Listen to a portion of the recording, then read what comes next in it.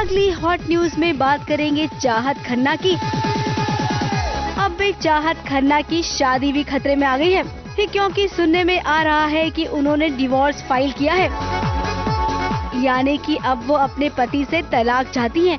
वैसे आपको बता दें कि चाहत खन्ना ने हाल ही में एक बेटे को जन्म दिया है।